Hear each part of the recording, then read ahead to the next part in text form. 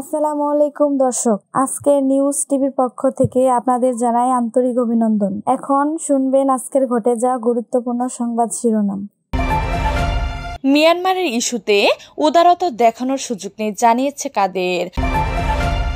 মানুষের তিনবেলা খাওয়ার অধিকার কেড়ে নিয়েছে সরকার জানিয়েছে রেসবি কাশ্মীরিদের স্বাধীনতা ফিরিয়ে দিতে পারে জাতিসংঘ জানিয়েছে ডক্টর ইরান ঢাকায় মশার এক ভাগ এডিস নিয়ন্ত্রণে শত কোটি টাকা খরচ করেও সুফল মিলছে না ছাত্রীকে ধর্ষণ চেষ্টায় অভিযুক্ত অধ্যাপকের স্থায়ী অবহিতের দাবিতে আন্দোলন চলছে সীমান্ত এলাকার মানুষ যেন সচেতন থাকবেন জানিয়েছে বিজেপির কমান্ডার এতক্ষণ শুনছিলেন সংবাদ শিরোনাম এবার বিস্তারিত মিয়ানমারের ইস্যুতে উদারতা দেখানোর সুযোগ নেই জানিয়েছে কাদের মিয়ানমারের ইস্যুতে আর উদারতা দেখানোর সুযোগ নেই বলে মন্তব্য করেছেন আওয়ামী লীগের সাধারণ সম্পাদক এবং সড়ক পরিবহন ও সেতুমন্ত্রী উবায়দুল কাদের তিনি বলেছেন কোনো অবস্থাতে বাস্তুচ্যুতদের ঢুকতে দেওয়া হবে না সেখান থেকে নতুন কেউ বাংলাদেশে এলে তাকে গ্রহণ করা হবে না আজ সোমবার দুপুরে ধানবন্ডিতে আওয়ামী লীগ সভাপতি শেখ হাসিনার রাজনৈতিক কার্যালয়ে আয়োজিত সংবাদ সম্মেলন সম্মেলনের সাংবাদিকদের প্রশ্নের জবাবে উবায়দুল কাদের এমন কথা বলেন আওয়ামী লীগ সাধারণ সম্পাদক উবায়দুল কাদের বলেন মিয়ানমার ইস্যুতে স্বরাষ্ট্রমন্ত্রী যা বললেন সেটিকে আমাদের সরকার ও দলের বক্তব্য ঘটনাস্থলের আশপাশে কয়েকটি গ্রাম নিয়ে আমরা উদ্বিগ্ন পররাষ্ট্র মন্ত্রণালয় নিশ্চয় এই ব্যাপারে কথা বলেন যতই উস্কানি আসুক আমরা প্রতিক্রিয়া দিব না উবায়দুল কাদের আরো বলেন ওই দেশ থেকে ছোড়া মর্টান সেল পড়েছে আমাদের সীমান্তে এরই মধ্যে তিনজন ও গুলিবৃদ্ধ হয়েছেন আবার আকাশ সীমাও লঙ্ঘন করেছে তাদের নিজেদের সমস্যার কারণে সমস্যা সম্মুখীন হব কেন মিয়ানমার প্রসঙ্গে জাতিসংঘ ও চীনের উদ্যোগ নেওয়া উচিত উল্লেখ করে উবায়দুল কাদের বলেন এখানে কনফ্লিক্ট অব ইন্টারেস্ট তাদের নিজস্ব তবে তা পাশের দেশের জন্য যাতে আতঙ্কের না হয় এটা আমাদের দেখতে হবে মানুষের তিনবেলা খাওয়ার অধিকার কেড়ে নিয়েছে সরকার জানিয়েছে রেসবি বিএনপির জ্যেষ্ঠ যোগ্য মহাসচিব প্রহুল কবি রেসবি অভিযোগ করে বলেন দেশের সমৃদ্ধ অর্থনীতিকে ভয়াবহ এক নৈরাজ্যকর পরিস্থিতির দিকে ঠেলে দিয়েছে সরকার সাধারণ মানুষ ফতুর হয়ে খেয়ে না খেয়ে ধুকে ধুকে মরছে তিনবেলা খাওয়ার সাধ্য কেড়ে নিয়েছে সরকার আজ সোমবার এক সংবাদ সম্মেলনে এমন কথা বলেন বিএনপি নেতা রেসবি রাজধানীর নয়াপল্টনে বিএনপির কেন্দ্রীয় কার্যালয়ে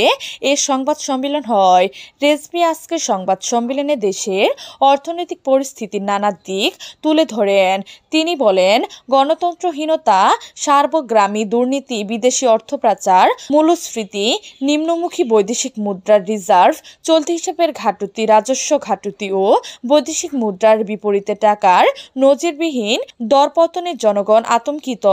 বর্তমানে দেশের অর্থনৈতিক প্রতিটি প্রধান সূচকের অবস্থান এতটাই শোচনীয় যা দেশে সামষ্টিক অর্থনীতিকে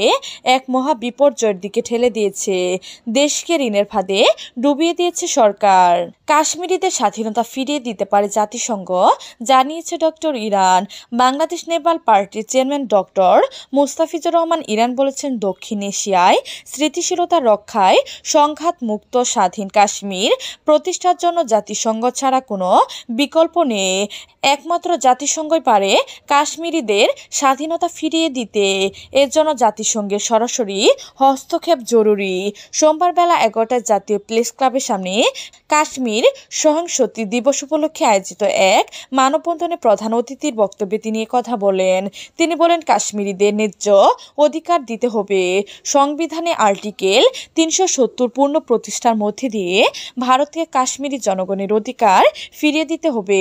তা না হলে ফিলিস্তিনের ভাগ্য বরণ করতে হতে পারে কাশ্মীর কাশ্মীরিদের তিনি আরও বলেন তিনশো সত্তর বাতিল করার মধ্যে দিয়ে সকল ভারতীয় কাশ্মীরের জমি ক্রয় করতে পারবে এই নীতির কারণে অদূর ভবিষ্যতে নিজ ভূমে পরবাস হতে পারে কাশ্মীরের মুসলিম জনতা আন্তর্জাতিক সম্প্রদায় শুধু পাকিস্তান ও ভারতকে সংযত থাকার অনুরোধ করে কিন্তু কাশ্মীরের প্রকৃত সমস্যা সমাধানের জন্য কেউ কাজ করে না কাশ্মীর সংকট দক্ষিণ এশিয়ার জন্য হুমকি স্বরূপ বলে মন্তব্য করে ইরান বলেন কাশ্মীরিদের যে বিশেষ স্বায়ত্ত শাসন আর্টিকেল তিনশো সত্তর তা রদ করে ভারত এই অঞ্চলে আরও স্মৃতিশীল করে তুলেছে ভারত সরকারকে সাম্প্রদায়িকভাবে বিষ বাম্প ছেড়ে কাশ্মীরের জনগণের অধিকার ভারত সরকারকে সাম্প্রদায়িকতার বিষ বাম্প ছেড়ে কাশ্মীরের জনগণের অধিকার ফিরিয়ে দিতে হবে বাংলাদেশ সরকার এখন জনগণের উচিত কাশ্মীর কাশ্মীরিদের পাশে দাঁড়ানো জাতিসংঘের তত্ত্বাবধানে গণভোট অনুষ্ঠানের মধ্য দিয়ে দক্ষিণ এশিয়ায় স্মৃতিশীলতা রক্ষায় কাশ্মীর সংকটের সমাধান করতে হবে ঢাকায় মশাল এক ভাগ এডিস নিয়ন্ত্রণে শত কোটি টাকা খরচ করেও সুফল মিলছে না ঢাকা শহরে যে মশা রয়েছে তার নিরানব্বই শতাংশ কিউলেক্স আর এক শতাংশ এডিস ডেঙ্গু রোগের জন্য দায়ী এডিস মশা এই এডিস মশা নির্মূলে গত অর্থ বছরে ঢাকা উত্তর সিটি কর্পোরেশন ডিএনসিসি খরচ করেছে একশো কোটি টাকা আর চলতি অর্থ বছরে একশো কোটি টাকা খরচের বাজেট করেছে অথচ কোটি কোটি টাকা খরচ করলেও ডেঙ্গু নাম কমেনি বরং ছড়িয়ে পড়েছে ডেঙ্গু মোকাবেলায় বছর ব্যাপী আমাদের প্রস্তুতি এবং করণীয় শীর্ষক এক গোলটেবিলে বৈঠক বিশেষজ্ঞদের এসব বিষয়ে উঠে এসেছে সোমবার বিকেলে রাজধানীর গুলশানে নগর ভবনে এ বৈঠকের আয়োজন করে ডিএনসিসি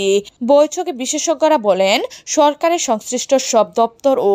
জনগণের সম্মানিত প্রচেষ্টা ছাড়াও ডেঙ্গু নিয়ন্ত্রণ সম্ভব নয় বৈঠকে লিখিত বক্তব্য উপস্থাপন করেন ডিএনসিসির প্রধান স্বাস্থ্য কর্মকর্তা ব্রিগেডিয়ার জেনারেল ইমরুল কায়েম চৌধুরী মস্কনি ধনে দুই হাজার বাইশ তেইশ অর্থ বছরে ডিএনসিসি একশো বিশ কোটি টাকা ব্যয় করেছে এবং চলতি অর্থ বছরে একশো নিরানব্বই কোটি টাকা খরচ করবে ছাত্রীকে ধর্ষণ চেষ্টায় অভিযুক্ত অধ্যাপকের স্থায়ী অবহতি দাবিতে আন্দোলন চলছে চট্টগ্রাম বিশ্ববিদ্যালয়ের ছাত্রীকে ধর্ষণ চেষ্টায় অভিযোগে রসায়ন বিভাগের এক অধ্যাপকের স্থায়ী অবহতির দাবিতে শিক্ষার্থীদের আন্দোলন অবহিত রয়েছে আজ সোমবার তৃতীয় দিনের মতো রসায়ন বিভাগের শিক্ষার্থীরা ক্লাস বর্জন করে দিনব্যাপী আন্দোলন করেছেন তারা জানান ওই শিক্ষককে স্থায়ী অবহতি না দেয়া পর্যন্ত তার আন্দোলন চালিয়ে যাবেন গত একত্রিশ জানুয়ারি উপাচার্য শিরিন আক্তারকে চিঠি দিয়ে রসায়নের বিভাগের ওই অধ্যাপকের বিরুদ্ধে ধর্ষণ চেষ্টার অভিযোগ করেছেন এক ছাত্রী এই ঘটনায় জানাজানি হওয়ার পর উত্তাল হয়ে উঠে ক্যাম্পাস টানা তিন দিন ধরে ক্লাস বর্জন করে আন্দোলন করেছেন বিভাগের শিক্ষার্থীরা অন্য বিভাগের শিক্ষার্থীরাও এতে যোগ দিচ্ছেন এর মধ্যে অভিযুক্ত অধ্যাপককে তদন্ত সাপেক্ষে দৃষ্টান্তমূলক শাস্তি দেওয়ার দাবি জানিয়েছেন বিশ্ববিদ্যালয় ছাত্রলীগ ও ছাত্র ইউনিয়নের নেতাকর্মীরা আজ দুপুরে বিশ্ববিদ্যালয়ে প্রশাসনিক ভবনের সামনে গিয়ে দেখা যায় শিক্ষার্থীরা ওই অধ্যাপকের বিরুদ্ধে বিভিন্ন স্লোগান দিচ্ছেন দ্রুত জেলে নেয়ার দাবি জানাচ্ছেন পাশাপাশি ক্যাম্পাসের ছাত্রীদের নিরাপত্তা জোরদার করতে বিভিন্ন স্লোগান দিচ্ছেন তারা রসায়ন বিভাগের এক শিক্ষার্থী প্রথম আলোকে বলেন অভিযুক্ত শিক্ষককে ধিক্কার জানান শিক্ষার্থীরা সীমান্ত এলাকার মানুষ যেন সচেতন থাকেন জানিয়েছে বিজেপির কমান্ডার বাংলাদেশ মিয়ানমার সীমান্ত পরিস্থিতি নিয়ে বর্ডার গার্ডস বাংলাদেশের BGB Cox's Bazar region commander brigadier general Morshed Alam গণমাধ্যম কর্মীদের সঙ্গে কথা বলেন তিনি বলেছেন মিয়ানমারের অভ্যন্তরে চলমান সংঘর্ষের জেরে এখন পর্যন্ত মিয়ানমার সীমান্ত রক্ষী বাহিনী বর্ডার গার্ড পুলিশের বিজিপি পঁচানব্বই জন সদস্য আমাদের আশ্রয় আছেন তার মধ্যে কয়েকজন আহত আছেন তাদের আমরা চিকিৎসা দিচ্ছি আমরা তাদের খাওয়া দাওয়ার ব্যবস্থা করেছি তাদের দেখা গবেষণার ব্যাপারে স্বরাষ্ট্র মন্ত্রণালয় ও পররাষ্ট্র মন্ত্রণালয় কাজ করে যাচ্ছে সংশ্লিষ্ট মন্ত্রণালয়ের নির্দেশনা পাওয়ার পর বিজেপি সদস্যদের ফেরত পাঠানোর বিষয়ে সিদ্ধান্ত গ্রহণ করা হবে আজ সোমবার সন্ধ্যা পৌনে ছয়টার দিকে কক্সবাজারের উখিয়া উপজেলায় বালুখালী কাস্টম চেকপোস্ট এলাকায় বাংলাদেশ মিয়ানমার মৈত্রী সড়কে এ সংবাদ ব্রিফিং হয় ব্রিগেডিয়ার জেনারেল মোর্শেদ আলম বলেন গতকাল রোববার সকালে হঠাৎ করে বিজেপি সদস্যরা সংঘর্ষ সংঘর্ষের কারণে প্রাণ রক্ষায় বাংলাদেশে পালিয়ে অনুপ্রবেশের চেষ্টা করেন এর পরিপ্রেক্ষিতে বিষয়টি বিজেপির উদ্যতন কর্তৃপক্ষের নির্দেশনা মতে বিজেপি সদস্যের অনুপ্রবেশের সুযোগ দেওয়া